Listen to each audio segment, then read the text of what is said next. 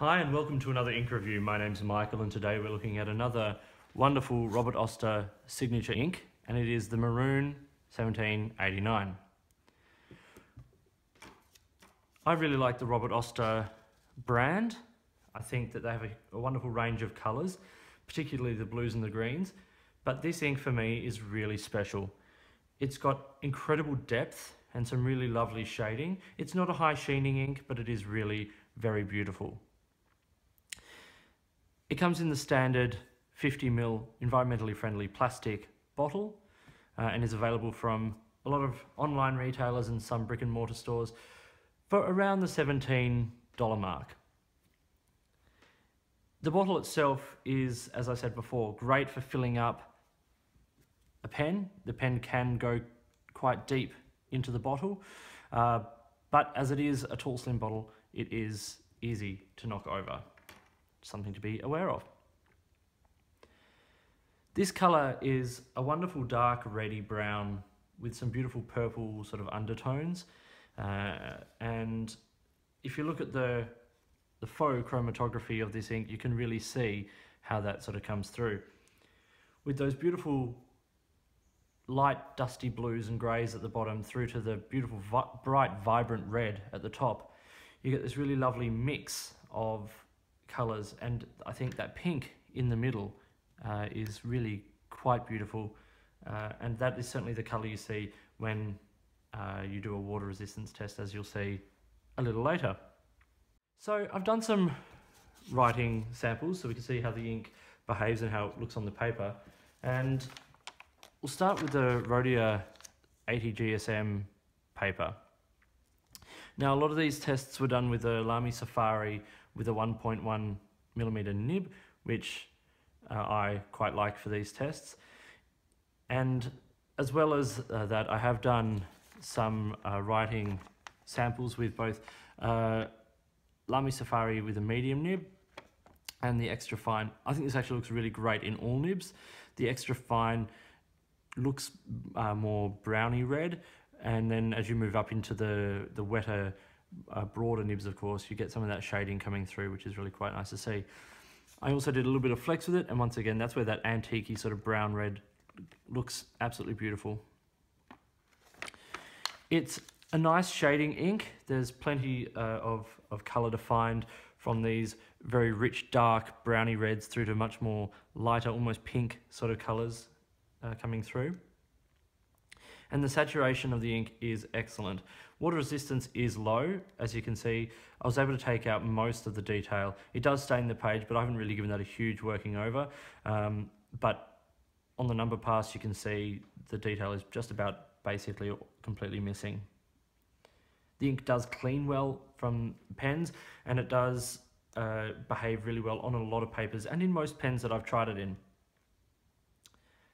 As I said, the shading is excellent. It's not a high sheening ink, so you're not going to get a lot of pop uh, from this ink, even on sort of paper like Tomoe River. But it does look great on the page regardless. Wetness of this ink is fair. Now, Robert Oster inks tend to either run very wet or very dry, and this sits somewhere in the middle. I find it to be uh, wet enough that you can use it in most pens, but if you're using it in something like a Platinum uh, Century with a fine nib or uh, some extra fines, you might not get a lot of the, the sort of the wetness. It will tend to look a little bit dull uh, on the page. But the flow is good and it's reasonably well uh, lubricated. Uh, and as the dry time suggests of 25 to 30 seconds, it's it's still got enough sort of wetness in there uh, for paper like the Rhodia and the Tomoe River, which we're about to see it on now before we go into some of the bleeding and feathering. So here it is on Tomoe River uh, 52 GSM, once again with the Lamy Safari. Uh, dry time of 35 to 40 seconds.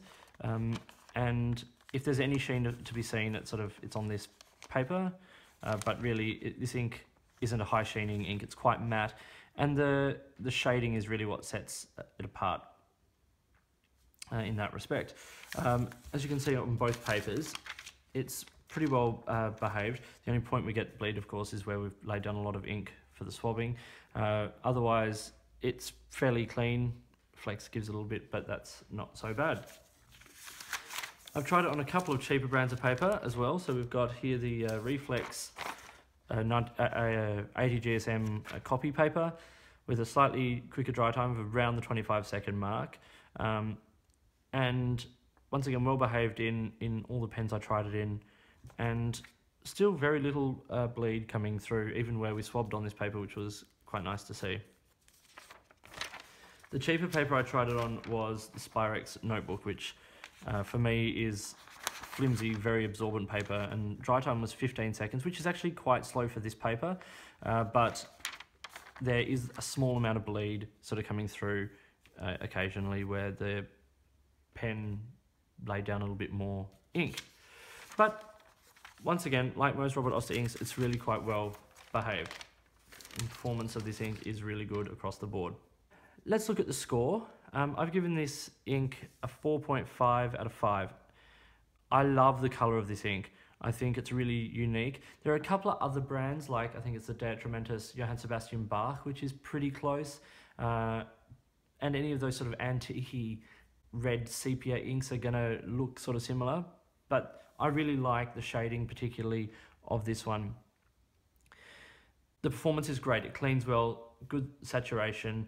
Uh, the water resistance is low, but once again, I think with Robert Oster inks, you're not looking for water resistance. I think the color is probably the, the fundamental feature that we look for in these inks, and the colors are great.